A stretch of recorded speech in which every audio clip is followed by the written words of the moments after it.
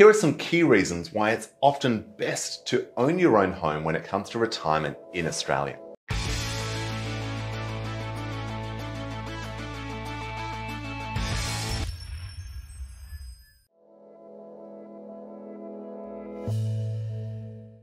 Hi there, I'm Jarrad Brown, Australian expat financial planner working with Australians right here in Singapore, planning for their retirement and making sure their money is working for them. In today's video, I want to share with you some key reasons why it often makes most sense to own your own home, that is the property you're going to live in, back in Australia in your retirement. Number one is it grows tax free.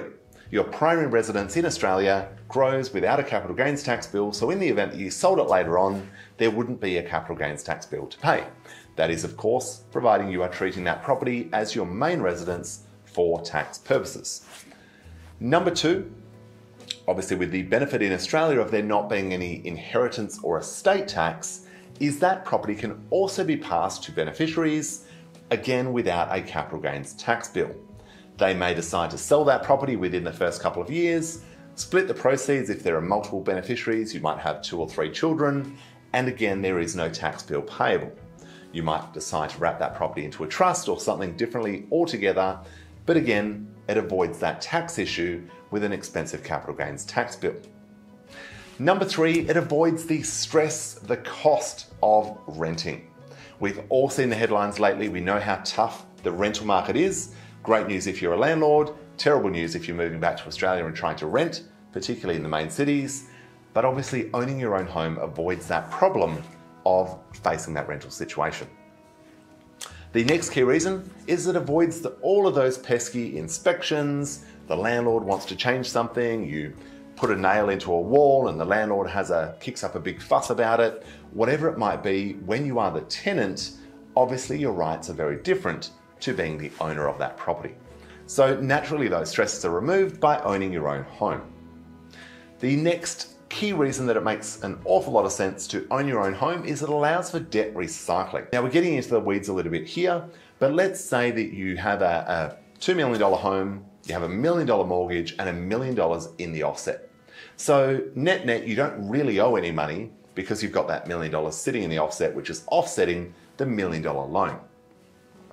Now, the beauty of the Australian tax framework is you could take a portion of that million dollars, you could invest that in a portfolio of fully franked dividend paying shares, generating a taxable income, claim the interest on that money because you're using it to produce assessable income, and of course get the franking credits on top of those dividends to boost your yield.